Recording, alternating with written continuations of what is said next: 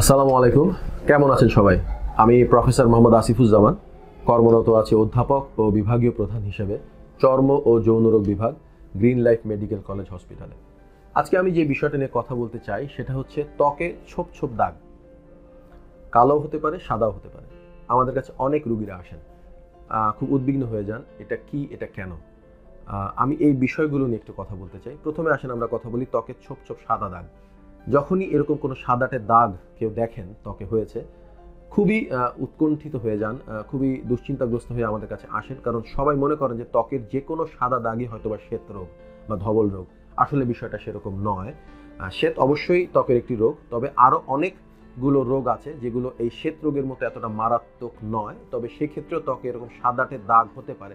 যেমন একটি হচ্ছে ছুলি বা আমরা যেটাকে সৌদ বলে থাকি একটা ফাঙ্গাল ইনফেকশন এক্ষেত্রেও দেখা যায় ত্বকে এরকম ছোপ ছোপ সাদা দাগ দেখা যায়। বেশিরভাগ ক্ষেত্রে দেখা যায় গলায়, ঘাড়ে বা বুকের সামনে হচ্ছে। এর পাশাপাশি মুখেও হতে পারে।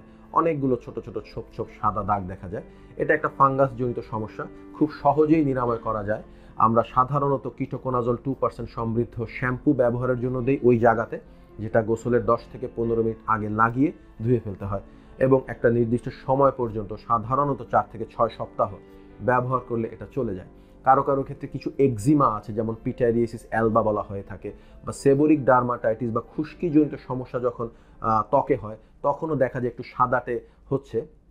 কারও কারও ক্ষেত্রে দেখা যায় যে কোনো কোনো জায়গায় কেটে গেল, বা কোনো জায়গায় একটু এক্সিমার মতো হলো, সেটা সেরে যাওয়ার পরেও সাদা দাগের মতো হচ্ছে, বা এক্সিমাতে আমরা যখন স্টেরয়েড ক্রিমটা ব্যবহার করতে দিচ্ছি, সেটা ব্যবহারের পরেও দেখা যায় ওই জায়গায় সাদা হচ্ছে। এগুলো কিন্তু দেখতে সাদা কিন্তু কোনোটাই কিন্তু শ্বেত রোগ নয়। সুতরাং এই সাদা দাগগুলোকে আমরা চিকিৎসার মাধ্যমে কিন্তু খুব সহজেই কমিয়ে ফেলতে পারি বা নিরাময় করা সম্ভব। আবার কারও কারও ক্ষেত্রে দেখা যায় যে জন্মের কিছুদিন পর থেকে কোনো একটা জায়গায় একটা ছোট সাদা দাগ দেখা যায়। যত বড় হতে থাকে, ততই দেখা যায় যে ওই দাগটা ওই বয়স অনুপাতেই একটু করে বড় হয়। এটা এক ধরনের জন্মগত সাদা দাগ, এটাও শ্বেত রোগ নয়। সুতরাং এই সাদা দাগ কোনো জায়গায় হলে এটাকে শ্বেত মনে করে ভয় পাওয়ার কিছু নেই।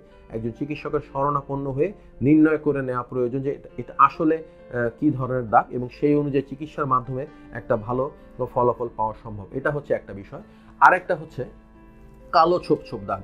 যেমন মুখে অনেকে পড়ে, কালো ছোপ দাগ হলে অনেকে এটাকে মেস্তা বলে ভুল করেন। সব কালো ছোপ দাগই কিন্তু মেস্তা নয়। হ্যাঁ অবশ্যই মেস্তা মুখে বা কপালে হলে সেটা দেখতে কালো ছোপ দাগের মতোই হয়। তবে আরও বেশ কিছু কারণেও কিন্তু এরকম ছোপ ছোপ দাগ পড়তে পারে। যেমন আমি একটু আগে ছুলির কথা বলছিলাম ছুলিতে যেমন সাদা হয়, তেমন কালো ছোপ দাগও পড়তে পারে। যেমন বগলের নিচে হতে পারে, ঘাড়ে হতে পারে। আবার কারও কারও ক্ষেত্রে দেখা যায় ঘাড়ে একটা কালো দাগ পড়ে। আমরা যেটাকে একান্থোসিস বলে থাকি, এই একান্থোসিস ঘাড়ের পাশাপাশি দেখা যায় কপালেও পড়ে গালেও পড়ে, তো এগুলো কিন্তু কোনোটাই মেস্তা নয়। কিন্তু কালো ছোপ দাগের মতো দেখা যায়। আবার কিছু কিছু এক্সিমা জাতীয় কন্ডিশন আছে, যেমন আমরা অ্যাসিডার্মাটোসিস বলি লাইকেন প্ল্যানাস পিগমেন্টোসাস এই যে ডিজিজগুলো আছে, এক্ষেত্রেও দেখা যায় কালো ছোপ ছোপ দাগের সৃষ্টি হয়। কারও কারও ক্ষেত্রে জন্মগত বা বংশগতভাবে তিলের একটা সমস্যা থাকে, যেটা এরকম কালো কালো ছোপ দাগ সৃষ্টি করতে পারে। সুতরাং সাদা দাগ হলেই যেমন শ্বেত নয় কালো ছোপ, দাগ হলেই কিন্তু তেমন এটাকে মেস্তা বলা যাবে না।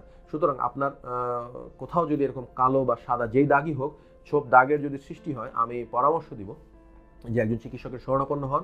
কি কারণে হচ্ছে সেটাকে নির্ণয় করে আমার মনে হয় চিকিৎসা যদি আর্লি স্টেজে শুরু করা যায়, অনেক ক্ষেত্রেই এটার একটা নিরাময় সম্ভব। সবাইকে অসংখ্য ধন্যবাদ।